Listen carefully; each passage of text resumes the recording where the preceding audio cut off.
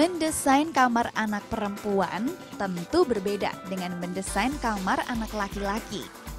Hal itu dikarenakan biasanya kamar anak laki-laki lebih simpel. Sedangkan kamar anak perempuan menggunakan aksen warna yang colorful.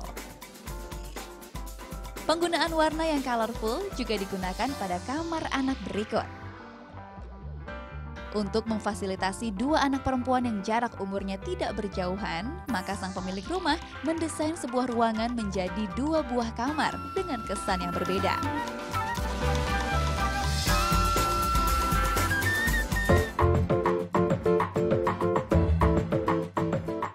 Pada kamar anak pertama, dinding diberi cat berwarna dominan pink atau merah muda. Sedangkan pada tempat tidur menggunakan aksen warna yang sama, namun terkesan simpel dengan headboard dan nakas yang senada. Untuk memberi kesan alami, penerangan menggunakan lampu berbentuk matahari, serta lantai menggunakan parket kayu. Penggunaan keramik berwarna merah, kuning, hijau pada area pintu masuk membuat aksen pelangi di lantai. Menarik bukan? Pada sisi lainnya, meja belajar didesain menggunakan warna pink yang selaras dengan dinding. Meja tersebut dipadukan dengan lemari atau rak yang berisi buku, koleksi foto, dan beberapa piala yang dapat meningkatkan semangat belajar anak.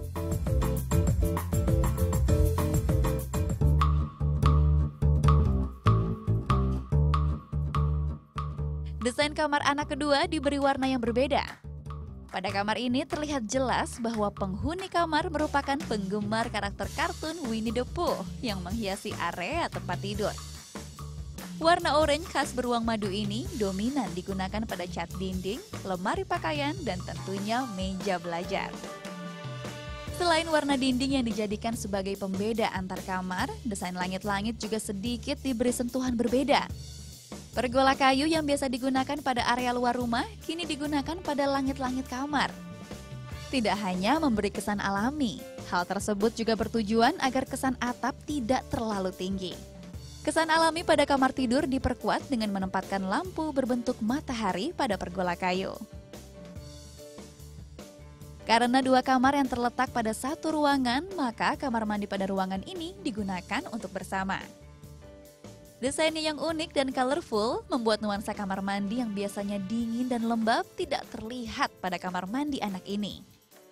Yang unik pada area ini adalah warna dan bahan pada dinding serta lantai. Keramik yang digunakan berupa keramik bekas proyek yang dipilih dan digunakan kembali. Motif pada dinding yang berwarna-warni merupakan penyiasatan keramik reused yang berbeda-beda bentuk dan warna.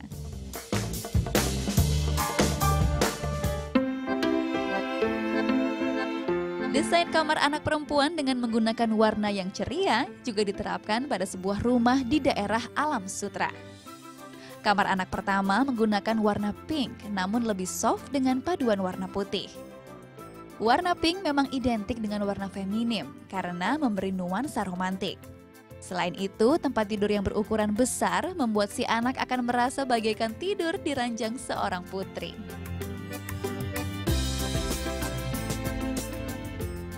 Kamar anak kedua, warna yang digunakan adalah warna ungu muda dengan paduan putih. Warna ungu muda memberikan nuansa ketenangan pada ruangan. Agar lebih hidup, aksen tirai dan gorden dipadukan dengan warna senada, sehingga menambah kesan girly pada ruangan ini.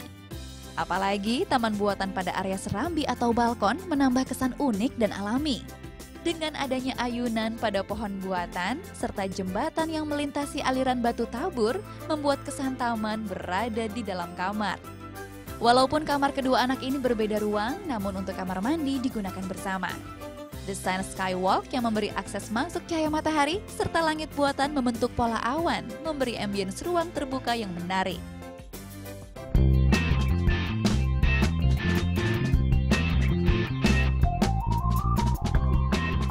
Penempatan kamar tidur pribadi selain bertujuan melatih keberanian dan kemandirian pada anak, juga berperan sebagai tempat ungkapan personalisasi anak.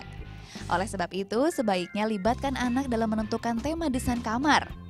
Desain kamar sebaiknya tidak terlalu girly atau kekanakan, sehingga dapat digunakan hingga remaja atau dewasa. Semoga terinspirasi.